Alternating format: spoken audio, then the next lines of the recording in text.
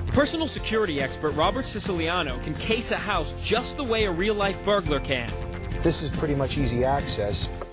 Robert Siciliano is a personal safety expert. He wrote the book The Safety Minute, which teaches people to tap into their survival instincts. Please welcome Mr. Robert Siciliano to the show. Robert Siciliano, security analyst and author of The Safety Minute. Robert Siciliano, personal security expert. Robert Siciliano is a safety and security expert. Robert Siciliano. Robert Siciliano. Robert Siciliano. Our next guest is personal security expert who's going to walk us through the risks and the solutions. Robert Siciliano. So what can you do to make sure you are not a target. Joining us now from our Beacon Hill studio, Robert Siciliano. He is a home security expert from ADT.com. And uh, let me uh, ask you now, what is the number one mistake homeowners are making in terms of uh, making themselves vulnerable for a break-in? Well, number one, they think it can't happen to them, that it only happens to other people. And number two, they don't lock their doors. Uh, just locking your doors can really deter a burglary, and they don't do anything in addition to protect themselves.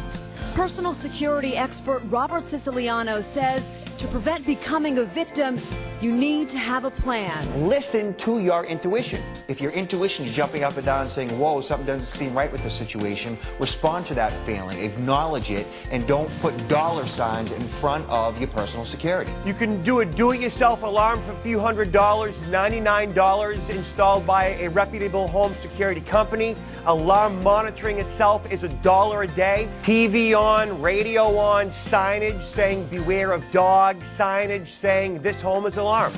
The bad guy's always looking for the path of least resistance. And just like we tell our kids not to talk to strangers, don't open up your door to a total stranger. Call a supervisor, make, make sure, in fact, a repair or a delivery is being made. The best thing you could do is to prevent this from happening in the first place. Lock your doors, effective signage, uh, you know, put in timers in and around your house, keep the TV on, and get yourself an alarm system. Security companies over the years have done a really good job of perfecting the art of the home security installation. Having video surveillance uh, is cost effective and I find to be very necessary. It's definitely a layer of protection that all homeowners should have in place. It is, in my opinion, irresponsible not to have a home alarm system. Uh, you are not responsible for your house getting broken into, but you are in the best position to prevent it in the first place.